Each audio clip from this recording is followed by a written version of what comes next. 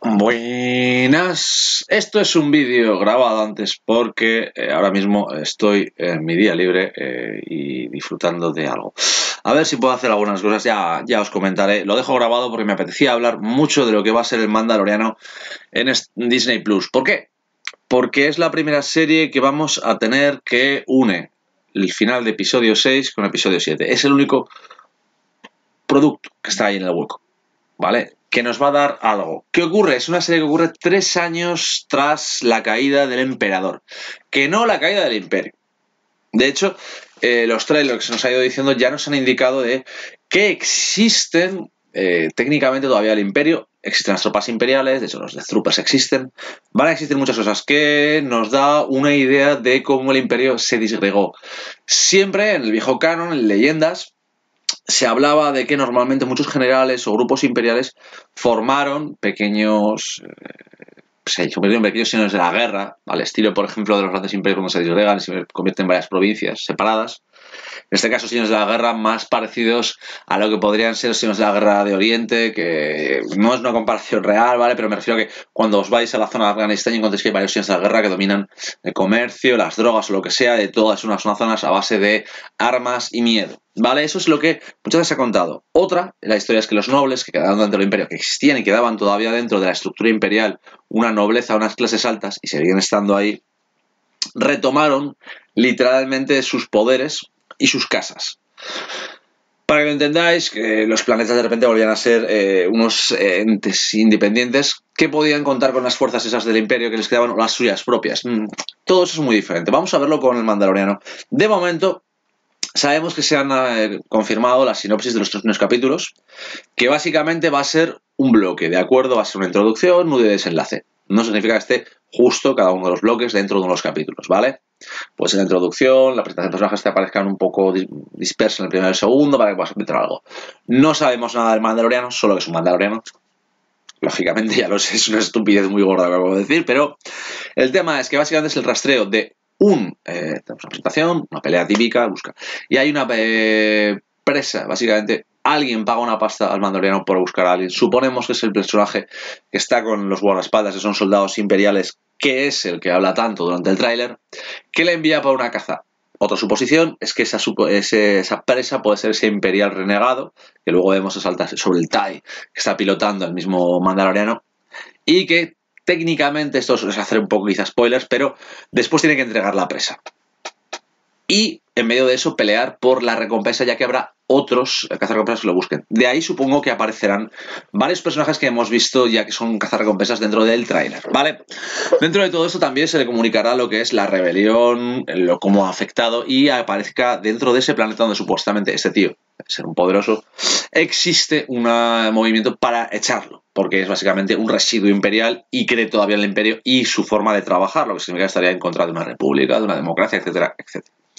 Esto básicamente es lo que tenemos actualmente del principio del Mandaloriano y no mucho más. Más de seis episodios, el primero va a emitirse el 12 de noviembre, el último se emitirá el 27 de diciembre, lo que significa que estamos hablando de una serie corta estamos hablando de una, etapa corta de, la serie. Luego ya sabemos que las mid-season, etcétera, llega Navidad, llega fin de año, las series se separan, la programación cambia, es, es lo que hay, ¿vale? Esos seis episodios serán lo que nos den este año de Mandaloriano. La cosa, es que los otros tres capítulos todavía no se sabe mucho más. Suponemos que vendrá de todo este detalle, de este tipo importante, de este sistema, este parser que dicen que, que es donde se va a mover todo. Veremos cómo funciona. Pero ya hay eh, un par de detalles curiosos. Hay una foto que ya se ha visto durante que la han sacado del tráiler en la que se ve un casco de Mandaloriano diferente. Cuando digo diferente es, el de Mandaloriano es muy parecido al de Fett. El otro que vemos tiene eh, unos pequeños detallitos extras y un visor diferente, muy diferente. La gracia es, hay gente que ha especulado que puede que estemos hablando de otro recompensas puede que de otro mandaloriano, puede que alguien que obtener una armadura de mandaloriano, alguien que los cace. Hay muchas teorías. Otra, eh, la más fácil que han dicho es que, eh, a ver si lleva un casco de repuesto. pues hombre, puede ser, pero supongo que tendría el mismo diseño que el otro, ¿no? Ahí ya no me meto lo del casco de repuesto porque es que Sería una solución muy fácil, pero un poco bestia. Total, que ya tenemos la posibilidad de un segundo Mandaloriano. De hecho, recordemos que Mandalorianos que hayamos visto como personaje principal están pues Django, Boba, eh, Sabine en Rebels y ahora este Mandaloriano sin nombre todavía. Con su imitación que tenemos de Western, supongo que el hombre sin nombre de, Sergio León en su trilogía del dólar, con Chris Wood, que es el que era, tendrá algo que ver con eso que no se haya dado el nombre todavía o que no se dé. Vete a saber con todo eso. Sabemos que hay un montón de secundarios que están desde compañeros cazadores de recompensas hasta Carl Weathers y su grupo que parece ser que son unos rebeldes que intentan, supongo que completar el trabajo de la rebelión empezó con la caída de la segunda estrella de la muerte y la muerte del emperador. Pero como siempre, volvemos a lo mismo, no tenemos ni idea. ¿Por qué? Porque han conseguido algo muy especial y es que queramos eh, verla, que tengamos muchas ideas, pero no haya todavía información. Recordemos también que está recanonizado en Rebels el almirante Thrawn, el hombre que en las novelas eh, ya no son canon, leyendas, intentó levantar el imperio, de hecho consiguió una gran flota y eh, volvió a, unir planetas bajo un control imperial, o sea, mantuvo un imperio, el problema es que era un militar, no un político, lo que significa que su idea era ganar una guerra que estaba contra la rebelión que estaba en curso, lo que eh, le dejaba de una forma muy especial, siendo muy diferente a todo lo que estaban planteando. No sé cómo lo harán, quizás el, regreso de Thrawn se dé en el Mandaloriano, no lo sé. De hecho, la serie tiene suficiente presupuesto como para plantearse muchísimas cosas. O sea, podríamos llegar a verlo. No creo que lleguemos a ver batallas planetarias o batallas espaciales a gran escala de armadas. Pero todo podría ser, así que no nos vamos a quedar en las suposiciones de que todo esto es una película del oeste, porque puede ser una película del oeste que pasa a ser una película de piratas a una película de batalla de flotas. No lo sé. La serie pinta muy bien. Como ya os he dicho, se estrena mañana. Netflix no, o sea, perdón, Disney Plus no está disponible en España, o sea, no ser que tengáis una cuenta norteamericana y, busquéis y deis mal, realmente aún no podemos hasta marzo, no podemos tener oficialmente Disney Plus. Ya sé que desgraciadamente el pirateo es algo eh, que no ayuda, pero es que va a ser la única forma realmente que mucha gente lo vea. Otras formas legales va a haber de consumirla, pero me parece que ahí Disney eh, va a sonar muy mal decirlo así, pero sabe que va a ocurrir, sabe que vamos a ver la descargada, pirateada y todo esto, y va a ocuparse de que no esté en muchos sitios. Así que en cuanto veáis que aparece, vedla rápidamente porque me parece que nos va a dar una buena pasada. Recordad que Disney es muy rápida, eh, tiene mucha gente encargada para que su material sea propio, ¿vale? La gracia es que vamos a, van a pasar filtros rápidamente y vamos a desaparecer muchos sitios el capítulo. No estoy recomendando la piratería, no digo pirateéis, pero sé que vais a hacerlo, como todo el mundo, porque no hay muchas opciones en la parte de los países para ver esta serie que tiene mucho interés. Desgraciadamente, pues no estoy diciendo que lo hagáis, pero sé que la mayor parte de la gente va a hacerlo. O sea, quiero decir que es que no, no hay otra. Repetimos fechas si queréis, 12 de noviembre se estrena, 27 es el último del año, son 6 episodios para lo que ve este año. Tenemos la sinopsis de tres capítulos, la idea general y ya teorías. Teorías en cuanto al desarrollo del imperio, la caída de los ya aparecidos señores de la guerra, la caída de otros. Suponemos que la primera caza se la plantea un señor de estos de la guerra imperial para cazar a otro, que puede ser su contrario en el dominio del sector.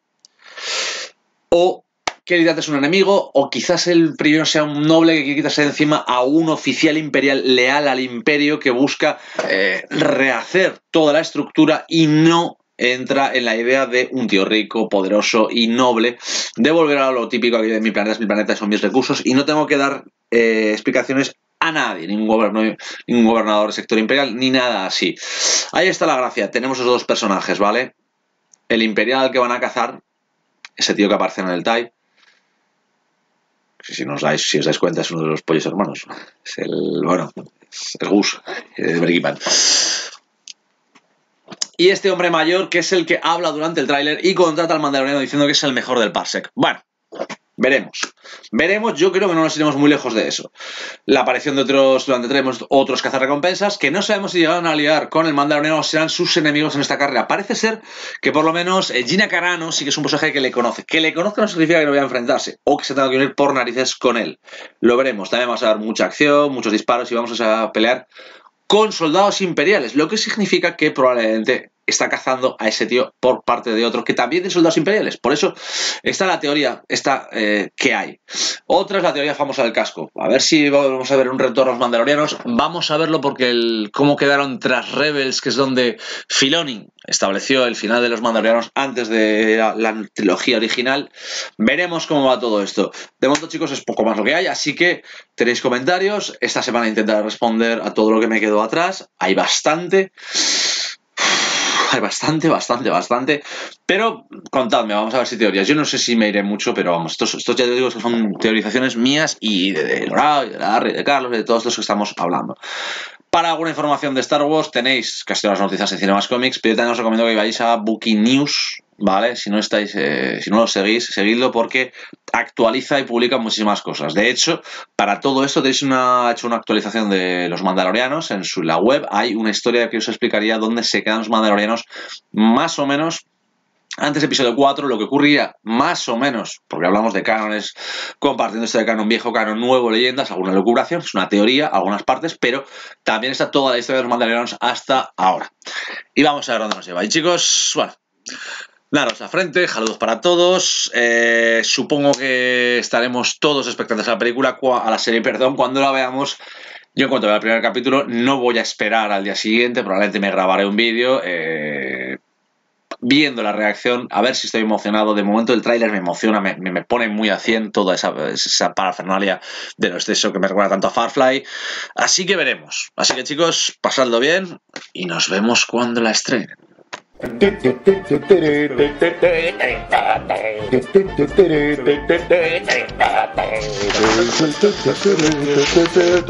Yo no sé por qué estoy bailando.